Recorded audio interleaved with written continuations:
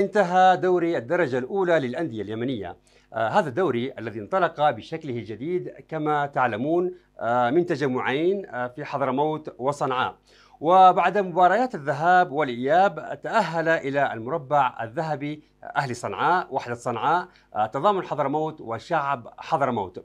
استطاع فيه شعب حضرموت أن يفوز بالمركز الثالث بعد فوزه على وحدة صنعاء. أما في المباراة النهائية مباراة اللقب فقد فاز أهل صنعاء على تضامن حضرموت بنتيجة 2-0 ليحقق لقب البطولة أو لقب الدوري للمرة السابعة في تاريخه. عن هذه البطولة وتحقيق اللقب بالإضافة إلى ماذا حقق هذا الدوري وما هو حال الكرة اليمنية. كل هذا وأكثر سنناقشه مع الكابتن جمال القديمي مدرب أهلي صنعاء الفائز باللقب. مساء الخير كابتن جمال وأهلا وسهلا بك معنا في برنامج أحوال الرياضة. أهلا وسهلا ومرحبا بكم. نرحب بقناتكم الكريمة وتحياتي لمشاهدينكم ومتابعينكم الكرام. في البداية كابتن جمال خلينا أبارك لك ولكل عشاق أهل صنعاء التتويج بلقب الدوري اليمني بعد الفوز في المباراة النهائية على فريق تضامن حضرموت. آه الحمد لله والشكر لله. الفضل أولا لله في تحقيق أي نجاح. نعم. والحمد لله إن إحنا حققنا لقبنا الغالي بعد سنوات عجاف وبعد تعب وجهد جهيد. ويعني دوري كان صعب. ما هو نعم. سهل. ولك الحمد تكلل التعب بالنجاح. وهذا النجاح يعني عزا إلى جهد يعني في الملعب وجهد لاعبين بذلوا الغالي والرخيص في سبيل تحقيق الهدف الغالي. والحمد لله على توفيقه. نعم. آه كابتن جمال آه بعد استقالة آه، المدرب السابق للأهلي آه الكابتن محمد النفيعي آه من تدريب الفريق آه وتكليفك بالمهمة هل كنت متوقع أنك بتوصل للنهائي وتحقيق اللقب؟ طبعا الكابتن محمد النفاعي من المدربين الوطنيين الأكفاء نشكره على ما قدمه. نعم. آه لم يكن توقعا وإنما كان طموح وهدف رسمناه. جميل. وصممنا على تحقيقه. وبفضل الله وجهود اللاعبين نعم. تم هذا النجاح ولك الحمد ولك الشكر. جميل. آه كابتن جمال آه هناك أربعة إلى خمسة لاعبين آه من فريق صقر تعز آه اللي انسحب قبل انطلاق الدوري. آه هؤلاء اللاعبين شاركوا آه كأساسيين في كتيبتك الحمراء. آه كيف كان تأثيرهم في تحقيق اللقب بشكل خاص؟ آه وكيف آه أثر انسحاب أندية تعز من البطولة بشكل عام؟ آه طبعا لاعبينا الذي تعاقدنا معهم. نعم. يعني بعد يعني آه، رؤية صحيحة من إدارة النادي وكجهاز فني وإداري وهذا لا ننسى فيه آه، الكابتن محمد النفاعي حقي- حقيقة يعني. نعم. وكانوا لاعبين قد المسؤولية وطبعا آه، هو أثروا إيجابا ولكن إحنا معنا نجوم يعني كبار. نعم. أكيد إنه اللاعبين اللي تعاقدنا معهم تأثروا أيضا باللاعبين الأهلي ونادي أهلي نادي بطولات كبير تأثروا وأثروا ايجابا.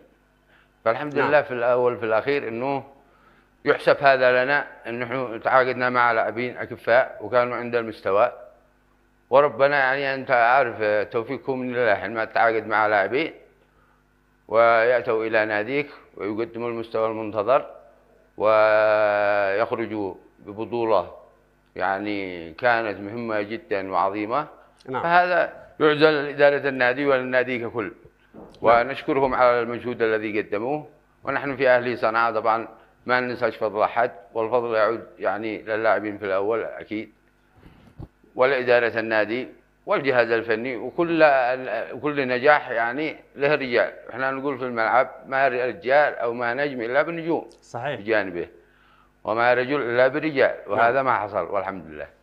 طبعا انديه تعز آه، يعني آه، رونق يعني آه، المفروض وجودهم كان يعني يعطي رونق أكثر وزخم للدوري. نعم. ولكن هذا قرار يعود إليهم. ونحن نحب أن يشاركوا دائما أندية تعز وأندية عدن ليكتمل ال- العرس الرياضي والدوري يكون في قمته وفي قوته وانديه تعز من الأندية المهمة التي يعني افتقدناها وهذا قرار يعني يعود إليهم إنهم لم يشاركوا ونتمنى مشاركتهم في المناسبات والإستحقاقات القادمة. إن شاء الله تعالى. آه طيب آه كابتن جمال آه الدوري اللي يقيم بهذا الشكل وبهذه الطريقة آه هل هو مفيد من أجل النهوض بكرة القدم اليمنية من وجهة نظرك؟ كنهوض بالكرة لا يفيد لكن كاستمرار الرياضة آه ممتاز جدا نعم. يعني أنت عارف بظروف البلاد وظروف الرياضة في اليمن فكان نعم. من الضروري إقامة دوري ونحن نشكر الاتحاد ونشكر الأندية كاملة ونشكر أندية حضرموت بشكل خاص على المشاركة وعلى أعضاء الدوري أهمية للاستمرار في بطولة الدوري وإن شاء الله البطولات القادمة تكون أفضل وأفضل وتكون ب يعني ذهابا وايابا وتكون أطول لأنه يؤثر ذلك إيجابا في مستوى اللاعبين ومستوى الرياضة عامة. صحيح. آه كابتن جمال آه كيف تشوف آه وضع الكرة اليمنية؟ آه ومن فين تبدأ آه عناصر النجاح؟ طبعا وضع الكرة اليمنية لا يخفى على أحد ولكن نحن الأمل لا ينقطع. الرياضة دائما أمل مستمر. الرياضيين ننصحهم بالأمل المستمر والجهد المستمر. نرفع الرياضة. وعناصر النجاح تأتي من من من من, من الناشئين والفئات والفئات العمرية نعم. والملاعب الرياضية والاهتمام بالرياضة بشكل عام من القيادات الكبيرة وقياداتنا الحكومة الكبيرة يعني نعم. في اهتمام من الحكومة. إذا كان في اهتمام صحيح واهتمام كبير ومؤثر إن شاء الله عندنا نجوم وعندنا يعني مواهب كثيرة. وشفته يعني في عندنا منتخب الناشئين أخذ كأس غرب آسيا. نعم. ويعني مقدورين منافسه منتخبات أكبر. نعم.